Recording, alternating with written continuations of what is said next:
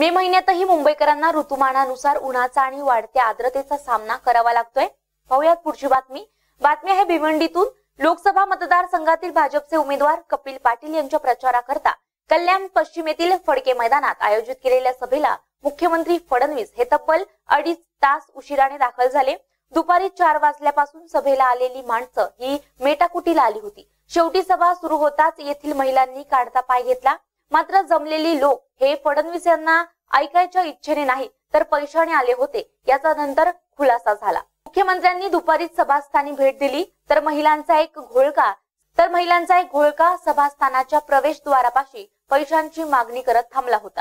त्यामुळे चारशे रुपये बिस्किटांचे पुडे आणि पाण्याच्या बाटल्या हे आमिष दाखवून गर्दी गोळा केल्याची चर्चा सभास्थानी कानावर पडली. भाजपच्या पदाधिकाऱ्यांनी मात्र याचा साफ इन्कार केला.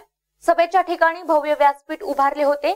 व्यासपीठाच्या उजव्या आणि डाव्या बाजूला मोठे कटआउट्स लावले होते. यावर मुख्यमंत्र्यांसह पंतप्रधान मोदी भाजपाध्यक्ष अमित शहा शिवसेना पक्षप्रमुख ठाकरे यांची छायाचित्रे होती. सभेला येणारे कार्यकर्ते आणि श्रोत्यांसाठी चार हजार खुर्च्या मांडण्यात आल्या होत्या. महायुतीतील सर्व घटक पक्षांचे झेंडे देखील सभास्थानी लावण्यात आले होते. एरवी या मैदानात कचऱ्याच्या घंटागाड्या उभ्या केल्या जातात मात्र सभा असल्यानं त्या तेथून हटवण्यात आल्या होत्या.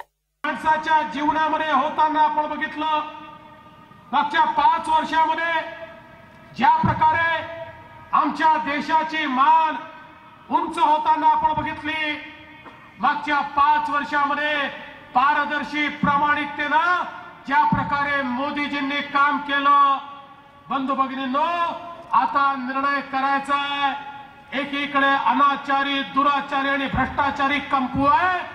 तर दुसरीकडे देशभक्त महायुती आहे ज्याचे नेते माननीय मोदीजी आहेत. आणि मला विश्वास आहे हा देश मोदीजींच्या सोबतच जाणार आहे.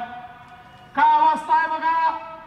मला कधी कधी आश्चर्य वाटतं या काँग्रेस पक्षाला लाच का वाटत नाही? या राष्ट्रवादीला लाच का वाटत नाही?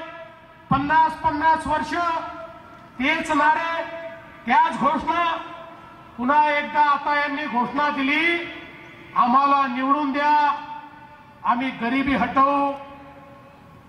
मी राहुल गांधींना विचारू इच्छितो. राहुलजी तुमच्या पणजोबांना पंतप्रधान बनवलं होतं. चांगले व्यक्ती होते गरिबी हटवू शकले नाही. तुमच्या आजीला बनवलं त्यांनी हटवली नाही. तुमचे वडील आले त्यांनी हटवलं नाही. तुमच्या आई आल्या त्यांनी गरिबी हटवली नाही. आता तुम्ही काय खाऊन गरिबी या ठिकाणी हटवणार आहे? हा सवाल माझा राहुल गांधींना आहे. रोज वाटेल त्या घोषणा करतात त्यांच्या घोषणा तुम्ही बघा. म्हणाले गरीबाला आम्ही बहात्तर हजार रुपये देऊ. अरे कुठून देणार आहे? विचारलं त्यांना. पत्रकारांनी विचारलं. राहुल गांधी सांग